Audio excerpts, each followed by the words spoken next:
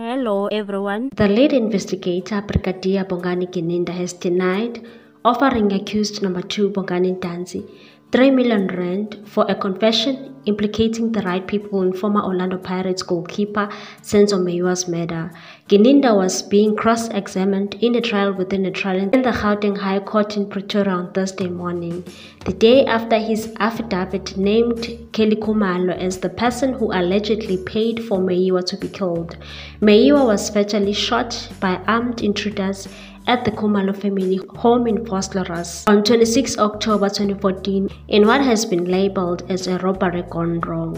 However, the court heard this week that Meyiwa's murder was not a robbery gone wrong, but a contract killing. On Thursday, Advocate Thulani Mngomezulu for accused number one and two told Gininda that his client had accused him of offering him 3 million rand to implicate the right people in the murder and was assaulted at various locations for a confession to that effect. Ntanzi further denied having signed any document purported to be confession on the morning of 19 June 2020. According to Mngomezulu, as informed by his client, Gininda went to Ntanzi on 21 June 2020, apologized to him for assault by police officers for a confession and offered him a 3 million rand.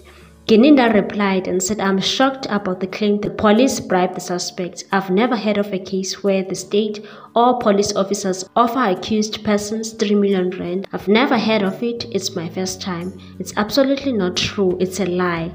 There's no budget that I have even to make such an offer. I didn't have a budget of 3 million rand for the unit during that time. I don't have it. Even if it was available, why would I do that? The accused cooperated with me on the 18th and told me he was willing to make a statement voluntarily. On the 19th in the morning, he made the confession. What is the point of going to him on the 21st for what promises? There were no promises made. I met him on the 22nd. Gininda said he only met Ntanzi in Carletonville on 18 June for his alibi that never was and then met him again on the 19th and said I did meet him on the 18th June 2020 at Carletonville mine. This was when we were following the alibi who said he was at work. This information was found to be false. Subsequent to that meeting and utterings that he was willing to make a confession, I left with Sergeant Mohane, that is from Carletonville. I never saw him again or traveled with him and Sergeant Mohane. We went our separate ways.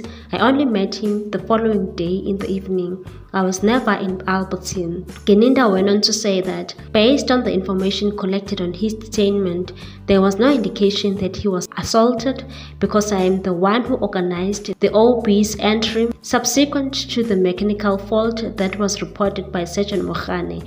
I know he was taken through the OB registers in the morning of the 19th, booked out for court proceedings, and nowhere does it reflect that he was assaulted at any stage when he was there. The confession was made on 19 June 2020 and concluded before midday. Gininda met the suspect later that evening, and there was no indication that the suspect had a complaint of being assaulted. What I know is that there was an understanding between me and the accused, number two, that he is freely and voluntarily willing to take a confession to an independent officer.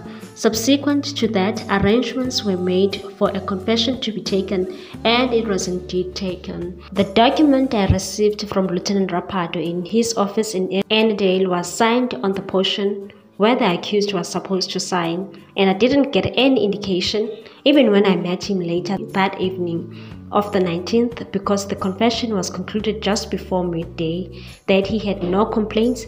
I did not see any visible injuries on him. Gininda said he did not witness any assault either. Because it was a Sunday. That's when you apologized to him. You requested him to work with you, to cooperate and that's why you offered him 3 million.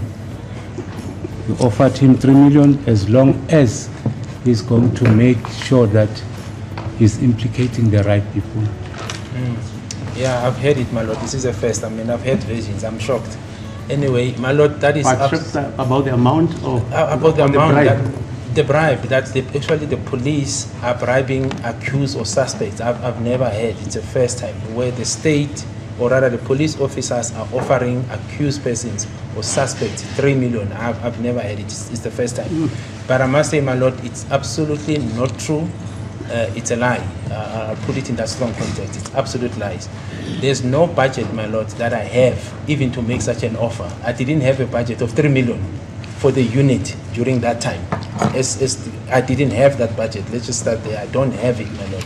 Now, and I don't know even if it was available, my lord, why would I do that? The accused cooperated with me on the 18th. He told me that he's willing to make a statement freely and voluntarily. Subsequent to that, on the 19th in the morning, he made a confession.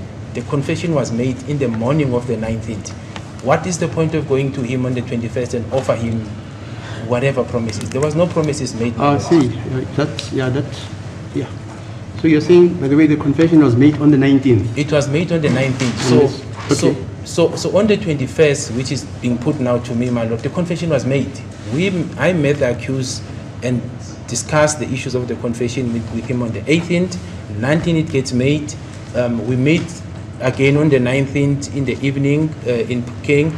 Then he gets taken to, to, to Primrose Police Station. From then, my lord, I never met him. That is now from the 20, the 28 in the morning hours. What's your take on this one, people?